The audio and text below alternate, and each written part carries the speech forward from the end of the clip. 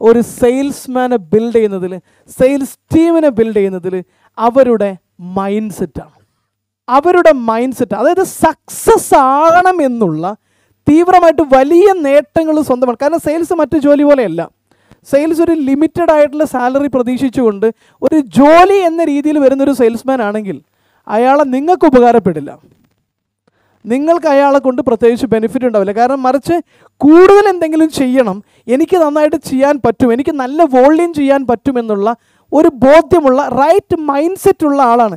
സെയിൽസിന് പറ്റിയ മികച്ചൊരു mind set ഉള്ള ആളാണെങ്കിൽ so right mind set is important things പിന്നെയോ? രണ്ടാമത്തത് സെയിൽസിന്റെ പ്രോസസ്സിനെ കുറിച്ചുള്ള കൃത്യമായ അറിവാണ്. സെയിൽസ് മൈൻഡ് സെറ്റ് എന്ന് പറഞ്ഞാൽ നമ്മളത് എന്താണ് മൈൻഡ് സെറ്റ് എന്നുള്ളത് വളരെ കൃത്യമായിട്ട് പഠിപ്പിക്കും.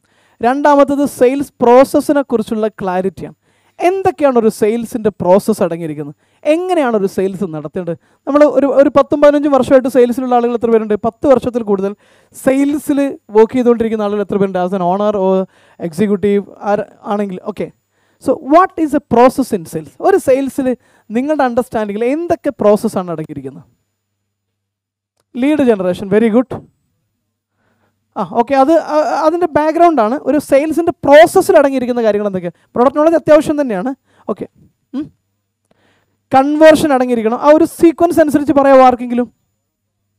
ലീഡ് ജനറേഷന് സെയിൽസ് മീറ്റിംഗ് ഓക്കെ പിന്നെയോ? ഫോളോ അപ്പ് ആവശ്യമുണ്ട്. നെഗോസിയേഷൻ ഒബ്ജക്ഷൻ ഹാൻഡിൽ ചെയ്യണം. പിന്നെയോ? ക്ലോസ് ചെയ്യണം അല്ലേ? പേയ്മെന്റ് ചോദിക്കണം. പ്രധാനപ്പെട്ട സ്റ്റെപ്പുകൾ ഇതൊക്കെയാണ്. ഇതല്ലാത്തയും കുറച്ച് സ്റ്റെപ്പുകളൊക്കെ നമുക്ക് പുതിയ കാലത്തിലുണ്ട്. നമ്മളത് ഡിസ്കസ് ചെയ്യും. സോ ഒരു സെയിൽസ് ടീം ബിൽഡ് ചെയ്യുന്നതിൽ ഒന്നാമത്തത് കൃത്യമായിട്ടുള്ള മൈൻഡ് സെറ്റാണ് അവരൊരു മില്യൺ ഡോളർ മൈൻഡ് സെറ്റ് എന്ന് വെച്ച് കഴിഞ്ഞാൽ ഒരു പ്രീമിയം സക്സസ്ഫുൾ ആയിട്ടുള്ള ഒരു റിച്ച് മൈൻഡ് സെറ്റ് എല്ലാ സെയിൽസ്മാൻമാരിൽ ഉണ്ടായിരിക്കണം. കാരണം നിങ്ങളുടെ സെയിൽസ്മാൻ എത്രമാത്രം റവന്യൂ ഉണ്ടാക്കുന്നു എന്നുള്ളത് നിങ്ങളുടെ റവന്യൂവിന്റെ പ്രപ്പോർഷനേറ്റ് ആയിരിക്കും. അപ്പോൾ എനിക്ക് കൂടുതൽ റവന്യൂ ഉണ്ടാക്കണം എനിക്ക് കൂടുതൽ മാക്സിമം സാലറി ഏൺ ചെയ്യണം എനിക്ക് കൂടുതൽ കമ്മീഷൻ ഏൺ ചെയ്യണം എന്നുള്ള തീവ്രമായ അഭിലാഷമുള്ള ഒരു സെയിൽസ്മാൻ ആണെങ്കിൽ അത് നിങ്ങളുടെ ബിസിനസ്സിന്റെയും റവന്യൂവിനെ അപ്പുറത്ത് സ്വാധീനിക്കുന്ന ഘടകമാണ്.